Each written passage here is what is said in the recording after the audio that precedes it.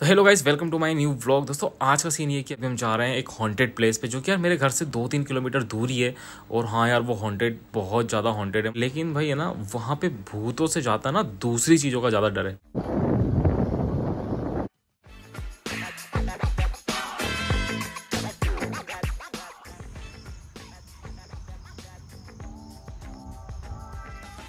तो guys haunted place जाने के लिए यार है ना, यहाँ जाना पड़ेगा, यहाँ से थोड़ा आगे।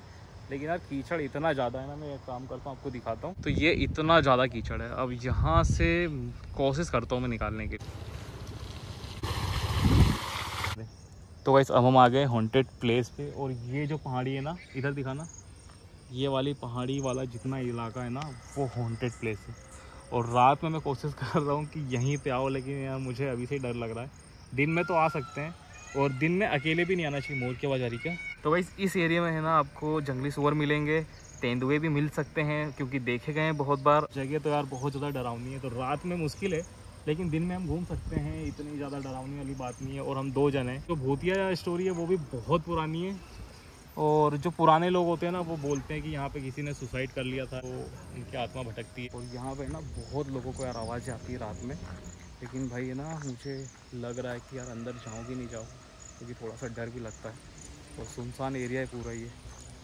पूरा सुनसान एरिया है। कोई भी नहीं दूर दूर तक। मैं सोच रहा हूँ अंदर जाऊँ कि नहीं जाऊँ, क्योंकि मेरे साथ जो है एक वो भी भाई छोटा लड़का है। और यहाँ पे ना अजीब सी बल्कि एकदम से है ना, एकदम मन घबराता है यहाँ पे। अजीब सा लगता है एकदम। लेकिन मैं चलता हूँ। और यहाँ पे ना मतलब अजीब सी अजीब सी आवाज़ आती है बीच बीच में और घबराहट सी होती है। यहाँ मुझे लग रहा है अंदर जाना चाहिए कि नहीं क्योंकि मेरे साथ है, वो भी कोई ज़्यादा समझदार, कोई बड़ा नहीं है, छोटा बच्चा ही है। किसी बड़े को लाना था, लेकिन कोई फ्री नहीं था। सीन दिखाता हूँ मैं आपको।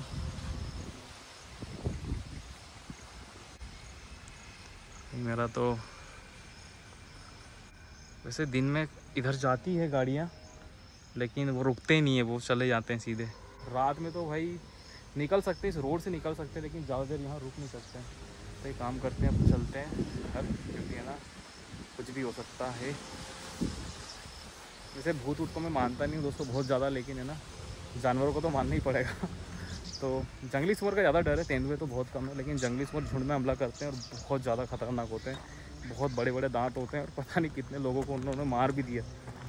तो मुझे लगता है कि अब चलना चाहिए।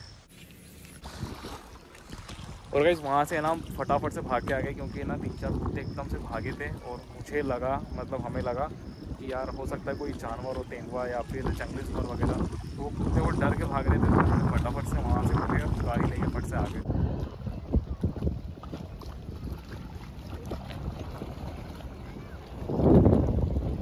भाई, मत जा, नीचे मत जा।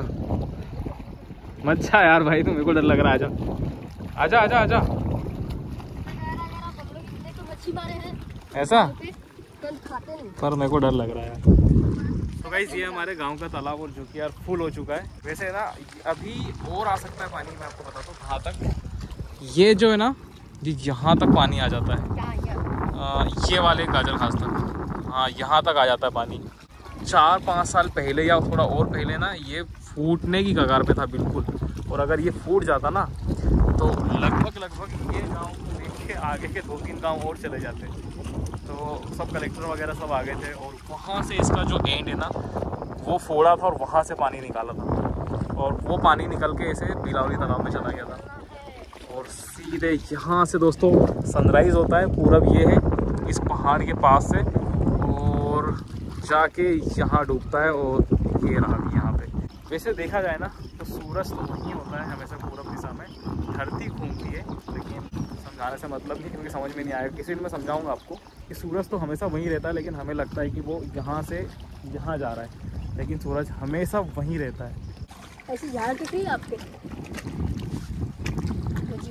तो गाइस अभी बज रही है रात की पौने दस और आज मुझे जल्दी नींद आ रही है क्योंकि कल मेरी नींद पूरी नहीं हुई थी तो आज मुझे उसके हिस्से का सोना पड़ेगा। वैसे दोस्तों, है ना, आज हम गए थे जहाँ हॉन्टेड प्लेस पे। वहाँ पे ना, मुझे लगता है कि यार ऐसा कुछ हल्का हल्का मुझे फील हुआ था। हो सकता है मन का वहम भी हो, लेकिन कुछ ऐसा लग रहा था मुझे कि वहाँ पे कुछ है तो हम फटाफट वहाँ से निकल गए।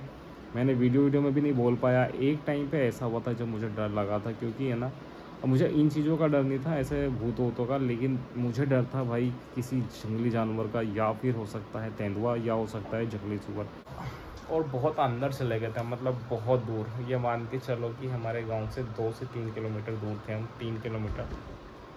तो फिर सही नहीं है यार मतलब इतना रिस्क उठाना। वैसे आप क्या सोचते हो कमेंट में ज़रूर से बताना। नेक्स्ट टाइम हम एक टाइम एक मतलब मैं कुछ और को लेके जाऊँगा बंदे को बच्चे को नहीं।